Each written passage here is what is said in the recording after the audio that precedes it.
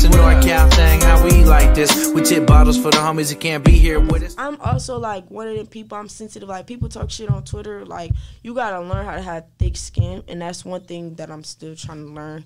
Because I can't even handle the smoke they be giving me on Twitter. They be eating me up. My tweets be going viral, bro. I be getting thousands. Yes, you gotta follow me. I be getting thousands of retweets on anything, and it be sensitive people. They be eating me up. So I don't know how I'm gonna do this when I'm gonna get these millions of followers and it's a hundred thousand people. I don't know.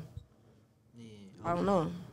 Wait, okay. So how do you feel your relationship with God has impacted your music career or like yeah, just impacted you in general? I feel like, cause back then, when I like, I feel like manifestation and praying is real because like, I feel like back then I used to look at certain people's stuff and I used to be like, damn, I want that. I wonder how I feel to get a thousand likes, and then it's just like.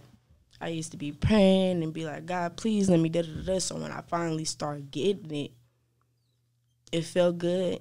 And then you start craving more. It starts to feel like nothing. So then when I just get a thousand likes, I'd be like, that's all?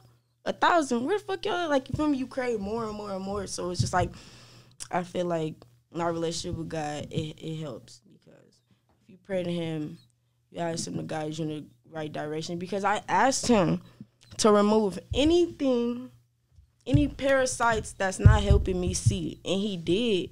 And it hurt at the time but he did. And i feel like it, certain stuff kind of be a lesson.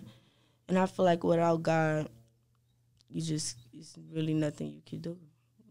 And i feel like he been blessing me and teaching me. I really feel like he's teaching me a lesson right now how to just build it back up and i know he got away and i just know i'm gonna make it i just know God gonna bring me there. Period.